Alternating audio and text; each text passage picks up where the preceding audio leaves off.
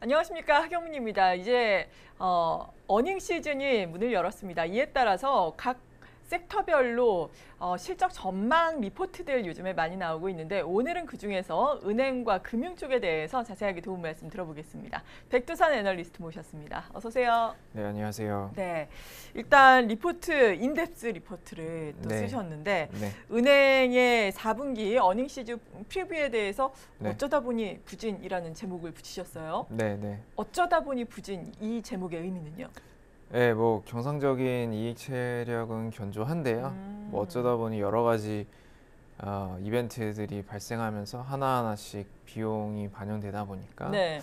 어, 결론적으로 4분기 순이익 bottom line 자체는 컨센을 한 30% 정도 하회를 할 것으로 예상이 되고 있습니다. 네. 네. 어, 4분기 순이익 전반적으로 보자면은 2조 6천억 원으로 네. 컨센서스를 30% 정도 하회한다라고 말씀을 해주셨는데 네. 어, 그렇다면은 이 어쩌다 보니 하는 그런 변수들이 어떤 변수들이 생겼길래 이렇게 네. 부진을 한 건가요? 첫 번째로 이제 예. 상생금융 관련돼서 이제 2조 원 의 이제 음. 금액을 자영업자 소상공인 분들에게 어, 지원을 해주기로 했는데요. 네. 그게 이제 어, 100%는 아니고 거의 대부분이 이번 4분기 실적에 아, 비이자 쪽에 이제 손실로 음. 어, 반영이 될 거고요. 네. 이제 대형 은행 기준으로는 뭐 각각 2천억 후반에서 3천억 음. 초중반까지 나오는 큰 금액이기 때문에 이게 4분기에 가뜩이나 이제 계절성으로 조금 어닝이 떨어지는 분기잖아요. 원래 그렇죠. 거기에 좀 영향을 줬고요.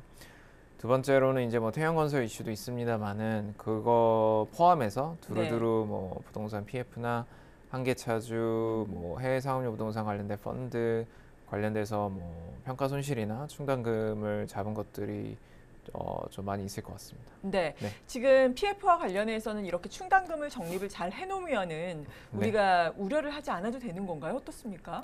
어, 일단 버퍼를 마련을 하는 거기 때문에 뭐 여기서 나아지면 이제 환입이 되는 거고요. 네. 여기서 더 악화가 돼도 그 악화에 따른 충격을 이제 완충제가 되는 거죠. 그래서 음. 결론적으로는 어, 어느 정도 수준에서 이제 충당금을 잡는 것은 어, 큰 틀에서는 실적 변동성이나 금융 시스템 안정 성 제고를 위해서는 뭐 좋은 일이라고 보고 있습니다. 네. 그런데 그럼에도 불구하고 은행주에 대해서는 물론 4분기 실적은 다소 부진할 것으로 예상을 하셨지만 어, 투자 의견 측면에서 보자면 비중 확대 의견을 주셨네요. 네, 우선 뭐 4분기 부진한 실적은 이제 어, 딛고 이제 넘어가는 걸로 보고 있고요. 네. 더 중요한 건 이제 2024년 또는 그 이후의 실적과 이제 주주 환원 정책이라고 보고 있습니다. 음. 사실 2024년 실적 자체도 뭐 증액이 나올 것으로 보고 있고요. 그다음에 이제 올해 이제 2월 초에 대부분의 은행들이 실적 발표를 하면서 이제 환원 정책을 발표를 같이 할 텐데요. 음. 그때 이제 나오는 내용들이 시장 기대치보다는 더 좋은 방향으로 나올 거고, 자, 애초에 이제 은행들이 실적 대비 valuation이 되게 낮았기 때문에 네. 그 valuation 저평가를 해소하는데 그 주주환원 정책이 이제 도움을 줄 것으로 보고 있기 때문에 비중 확대 의견을 유지했습니다. 네, 그렇군요. 주주 환원과 관련해서는 2월이나 3월이 그렇다면은 각사별로 다르겠지만 대체적으로 배당 기준일이 되겠죠? 어, 배당 기준일 자체는 대부분의 은행들이 이제 3월 말이 될 3월 거고, 말. 네. 뭐 일부 은행들이 2월 말인 음. 경우도 있을 겁니다. 예. 근데 그 배당 기준일 말고 그 배당 기준일 공시는 미리 하는 거잖아요. 아, 그 배당 예. 기준일 언제다 하는 공시랑 음. 뭐 잠정 배당액, 어. 그다음에 자사주 매입 소각 관련된 발표는 네. 2월 아마 첫째 주쯤에 음. 이제 대부분 집중해서 발표를 할 거고요. 네. 그때 주가 관점에서는 좀 반영될 걸로 보고 있습니다. 그러니까 우리가 이거를 보면서 만약에 네. 배당을 보면서 투자를 한다라고 한다면은 네. 지금부터 좀 모아가는 전략이 은행주에 있어서는 필요할까요? 네, 그렇게 보는 게 결국에는 이제 그 발표될 주주환원 율 또는 네. 주주환원액 자체가 뭐 다 주가에 선반영됐다고 보고 있지 않고요. 음. 그래서 뭐 시장의 우려는 이제 대략적으로 어 22년도죠. 이제 음. 작년 초에 발표했던 주주환원율 대비 개선이 쉽지 않겠다. 그래서 아. 여러 가지 분위기를 봤을 때뭐 네. 이런 우려가 있는데 그 우려와 달리 이제 점진적인 이제 주주환원율 상향 추세가 이어질 것으로 보고 있고 음. 그거를 확인하는 두 번째 해가 될 것으로 보고 있습니다. 네. 네. 어, 이런 가운데 어떤 종목에 접근을 해야 할지는 잠시 후에 도움 말씀 드리도록 하겠고 또 은행 네. 쪽 하자면은 NIM 우리가 네. 어, 얘기를 하잖아요. 어, 네. 이자이익 같은 경우에는 소폭 증가할 것으로 보셨네요. 네, 이자익이 이제 증가하고요. 네. 대출은 늘고 이제 NIM은 소폭 하락해서 이제 P 곱하기 Q에 따라서 음. 이제 이자익이 좀 는 걸로 보고 있고요. 네. 최근에 아무래도 이제 조달 비용률이 좀 올라가고 있고 대출 좀 경쟁이 있는 상황입니다. 그래서 큰 틀에서는 뭐 NIM이 올라가긴 쉽지 않은 음. 구조고 뭐 대략적으로 행보세 정도 추세로 보고 있고요. 네. 어, 이제 한국은행 기준금리 인하가 이제 올해 또는 내년에 이제 예상이 됨에 따라서 그 인하 시점에 맞춰서 그때부터 이제 NIM이 어, 하락 추세로 갈 것으로 보고 있습니다. 네. 어, 이런 가운데 이것과 연관되는 또 많은 것들이 있잖아요. 좀 네. 소개를 해주시고 또 설명을 해주신다면 어떻겠습니까? NIM 관련된 거요. 네, 네. 네, 일단 NIM은 이제 보통 이제 기- 한국은행 기준금리가 이제 25bp 한 음. 번 인하되면 한 3bp 정도 움직이는데요. 네. 그게 은행 실적 치면 3% 정도 왔다 갔다 하는 음. 민감도를 가지고 있습니다. 그래서 대략적으로 지금 저희 하우스뷰가 뭐 올해 50bp 인하를 보고 있는데 음. 그런 단순히 뭐 산술적으로 계산하면 뭐 NIM은 6bp 정도, 음. 실적에는 한6% 정도 네. 이제 영향을 연간으로 이제 연율화했을 때 네. 끼친다고 볼 수 있고요. 뭐 이게 올해 실적에 다 반영은 안 되겠죠, 당연히. 그런 식의 이제 좀 영향이 있는 거고, 다만 이제 Q 즉 대출 성장 관점에서는 네.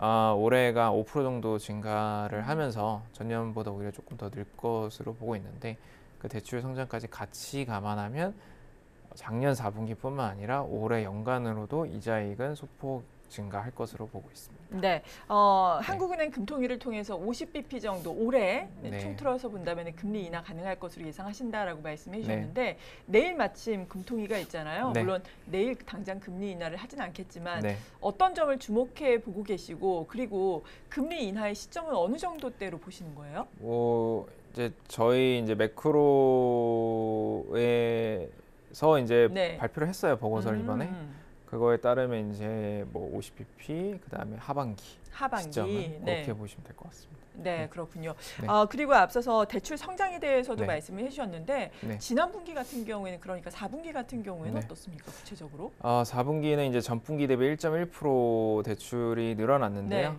뭐 가게랑 기업 고루고루 이제 늘어난 상황입니다. 음. 어, 뭐 사실 4분기 자체가 기업 대출 좀 원래 적게 늘어나는 계절성이 있는 거를 감안하면 네. 뭐 더욱더 가게랑 기업은 뭐 비슷하게 늘어났다고 보고 있고요. 음. 이런 비슷하게 증가하는 흐름은 이제 올해도 이어질 것으로 보고 있고 네. 다만 이제 기업 대출 내에서는 어, 작은 업체들보단 큰 업체들, 어, 뭐 대기업 위주로 많이 늘 것 같고요. 가계 대출은 작년과 마찬가지로 올해도 이제 다른 대출들보다 이제 주담대 위주로 음. 성장이 이어질 것으로 보고 있습니다. 네, 이런 가운데 네. 리포트에서 보니까 이 대출과 관련해서 눈에 띄는 것이 신생아 특례 대출이에요. 네, 이러한 부분이 2023년에는 없었다가 다시 새로 생기는 건가요? 그렇죠. 작년에는 이제 특례 보금자리론이라고 해가지고 비슷한 상품이 있었지만 네. 뭐 자격 요건이나 금리 조건이 좀 달랐고요. 어떻게 보면 올해 시작될 신생아 특례 대출과 비슷한 거는 이제 작년으로 치면 디딤돌 대출, 뭐 버팀목 대출 같은 건데 그거 대비 또 금리가 싸고 음. 뭐 소득 요건 같은 것들이 완화가 됐습니다. 네. 근데 다만 이제 어, 신생아가 있어야 되는 거죠. 그래서 그 그렇죠. 조건 하에 뭐 여러 가지로 좀 유리한 어, 상품이 나온 거고 네. 그 상품이 이제 빠르면 1월 말에 적용이 될 거기 때문에 그럼 본격적으로 대출이 기표되는 시점은 뭐 3월부터겠죠. 그러면 음. 그때부터 이제 전 업권 관점에서는 좀 주담대 성장에 영향을 줄 것으로 보고 있습니다. 네, 그러니까 은행에 있어서는 긍정적인 포인트다라고 볼 수 있는 거죠. 네, 이게 이제 성장 그러니까 PQC에 다 네. 영향을 끼칠 텐데 그 중에서는 좀 더 C 즉 자산 건전성에 좀 긍정적인 영향을 줄 것으로 보고 있고요. 아무래도 이런 상품들이 보통 정책 금융 상품은 뭐 유동화되는 경우도 많고 네. 은행 북을 안 거치고 취급되는 경우도 많아서 대출 성장에는 좀 제한적인 영향을 끼칠 텐데 이게 전반적인 시장의 유동성을 공급해주는 역할, 윤활유 역할을 하기 때문에 그게 이제 자산 건전성 연착륙에는 도움을 줄 것으로 보고 있습니다. 네. 네. 그리고 앞서서 다양한 4분기에는 비용이 발생을 했다라면서 네, 어, 뭐 PF라든지 그리고 상생 금융과 관련해서도 짚어주셨는데 네, 어, 지금 리포트에 또 보니까 네. 어, 다양한 비용 발생 측면에서 연체율도 또 언급을 하셨네요. 어, 연체율은 예. 이제 경상적인 충당금 적립액하고 이제 연관이 있는 건데요. 음. 어, 10월까지가 이제 최신 데이터인데 그때까지는 계속 올랐습니다. 네.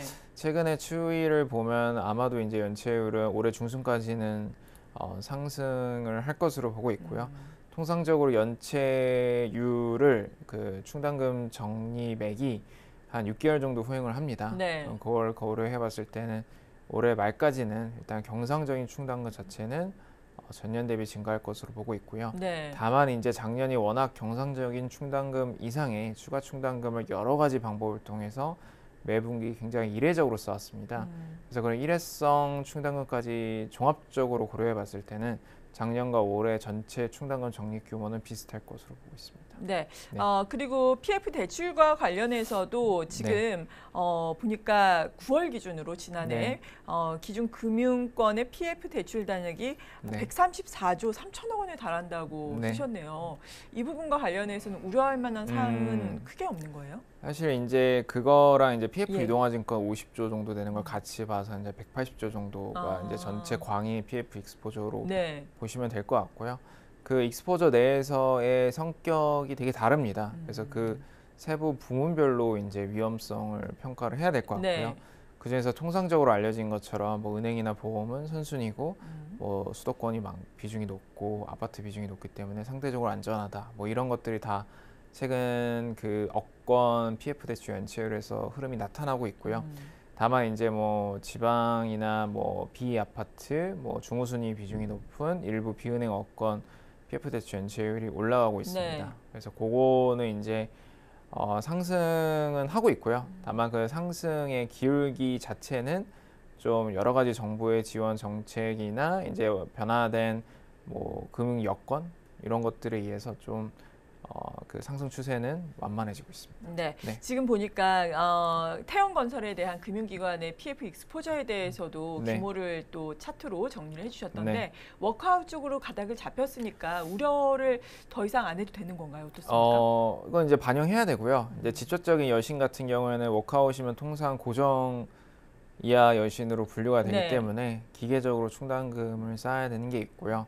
다만 이제 태영건설에 대한 직접 exposure가 아니라 뭐 사업장에 대한 뭐 간접적인 exposure, 뭐 보증이라든지 이런 거에 대해서는 어, 건별로 좀 다르게 책정을 할 수 있고요. 네. 또 이게 연대 보증이 있느냐 없느냐에 따라서 또 다를 수도 있어서 어, 종합적으로 봤을 때 태양건설 관련된 광해 익스포저에 대해서 정상에서 고정 사이 등급으로 건별로 분류가 될 것 같고 이에 따라서 충당금 적립은 있을 거고요.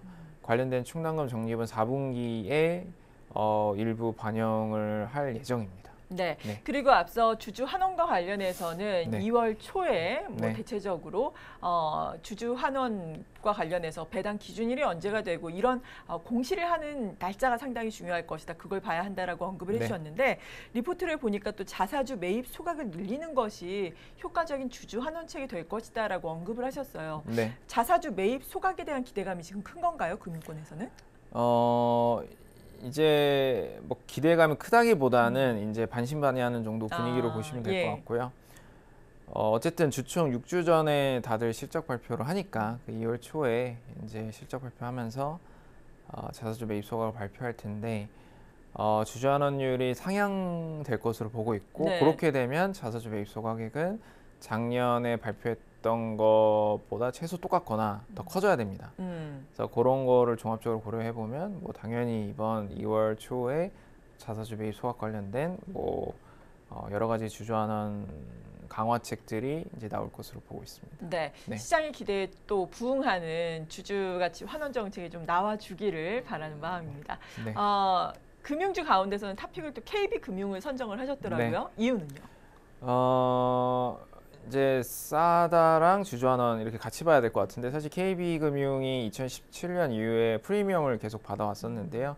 최근에 이제 멀티플 격차가 타행 대비 많이 좁혀졌던 게 음, 뭐 홍콩 지수 관련된 ELS 영향이라든지 네. 상생금융 영향, 뭐, 뭐 건전성, 뭐 이런 여러 가지 것들이 겹쳤던 것 같습니다. 그래서 밸류에이션은 타인 수준으로 내려온 가운데 여전히 이제 경상적인 이체력은 견고하고 자본 비율은 제일 높아서 결국에는 은행권 내에서 주주 환원율을 선도해서 네. 올릴 수 있는 위치에 있다고 보고 있고요. KB가 올려야 다른 은행들이 어. 맞춰서 올라가는 거거든요. 결국 궁극적인 방향성은 같겠지만 그 개선을 좀 먼저 하고 좀 더 많이 하고 이런 걸 종합적으로 고려해서 탑픽으로 말씀드립니다. 네, 어, 네. KB금융을 탑픽으로 목표 네. 주가는 지금 7만 1천 원까지 말씀을 네. 해주셨고 지금 말씀을 하시다가 네, 아, 홍콩과 관련한 ELS 언급을 해주셨잖아요. 네, 어, 지금 금융당국에서도 홍콩 H지수 ELS와 관련해서 뭐 현장 검사 어, 2월에서 3월 정도에 결론을 네. 내겠다라는 입장을 밝히고 있는 상황인데 네, 뭐 홍콩 지수가 이렇게 꺾일 줄 누가 알았겠어요. 네. 근데 ELS 손실이 이렇게 네. 확정이 된다면은 금융권에 미치는 영향은 어떻습니까? 어, 뭐 지수의 추이에 따라 다를 것 같아요. 근데 이제 녹인형이냐 무녹인형 음. 상품이냐를 또 나눠봐야 될것 네. 같고 녹인형 같은 경우에 여기서 지수가 크게 오르지 않는 이상은 일단 손실 상환으로 갈 가능성이 조금 있는 상황이고요. 예. 무녹인 상품 같은 경우에는 가봐야 됩니다. 끝까지 이게 어. 손실 상환이 될 수도 있고 수익 예. 상환이 될 수도 있어서 그래서 뭐 여러 가지 조건들이 있겠지만 큰 틀에서는 고객들이 이제 조 단위의 손실이 어, 베이스 시나리오로 좀 봐야 될 것 같고요. 음. 네. 이거에 대해서 이제 판매사 관점에서는 불안전 판매에 대해서 어느 정도를 배상해야 되느냐 라는 이슈가 지금 현재 진행형입니다. 음. 관련돼서 이제 감독 당국에서 가이드라인이 뭐 상반기 중에 나올 수 있고요. 네. 요 그러면 이제 그 가이드라인에 따라서 케이스별로 어, 분류를 할 수 있겠죠. 음. 그러면 뭐 일부 이제 판매사 어, 배상이 나올 수 있고요. 네. 뭐 유사한 사례가 이제 금리 관련된 DLF 어, 2019년 어, 사건이 있는데 음. 물론 그때보다는 배상 비율이 약간은 떨어질 수 있다고는 음. 보고 있지만 뭐 일부 나오는 거를 감안할 필요는 있어 보입니다. 네, 그러니까 관건은 불안전 판매와 관련해서 네. 어떻게 결론이 나느냐 그리고 네. 배상액이 되겠네요. 네. 네, 그렇습니다. 이러한 부분이야 뭐 계속해서 어, 진행 중인 이슈니까 우리가 살펴봐야 되겠고 네. 신한지주를 또 매수 의견 주셨네요. 네, 신한은 이제 결국에는 어, 주주환원에서 선진화된 정책을 피는 거는 네. 같은 컨셉이고요. 또 관리의 신한이라는 타이틀에 맞게 뭐 리스크 관리에 있어서도 항상 이제 좀 우위에 선 모습을 보입니다. 뭐 굳이 단점으로 표현하자면 이제 뭐 카드를 비롯한 이제 여전사 비중이 좀 높고 그게 이제 이익이나 이제 건전성 관점에서 약간의 디스카운트 요인이 된다는 건데요. 뭐 워낙 다른 계열사 들에서 올라오는 부분이 있기 때문에 전체 지주사 관점에서는 뭐 양호한 모습 보일 것으로 보고 있습니다. 네, 목표 주가는 4만 8천 원 제시를 해주셨고 네. 어, 이 밖에도 커버하고 계신 금융사 가운데서 네. 특별히 뭐 특이점이 있다든지 언급을 하고 싶으신 종목이 있으세요? 어, 뭐 개별 은행이라기보다는 네. 결국에는 뭐 이번 올해 초에도 작년과 마찬가지로 주주환원이 아직 크게 부각은 안 됐지만 음. 뭐 주총 시즌을 앞두고 뭐 당연히 부각될 수 있는 이벤트가 나올 수도 있고요. 네, 큰 틀에서 그런 게 이제 은행주 전반적으로 주주환원에 대한 어, 관심이 환기되는 그런 음. 어, 계기가 될 것으로 보고 있습니다. 네. 네. 은행주 주주 환원과 관련해서 배당과 관련해서 또 관심을 가질 만한 지금 네. 시즌이다라고 언급을 해주시면서 탑픽 종목으로는 KB 금융을 제시를 해주셨습니다. 네. 어, 1분기 프리뷰 살펴보면서 이렇게 은행주에 대한 투자 의견 들어봤습니다. 백두산 애널리스트였습니다. 감사합니다. 감사합니다.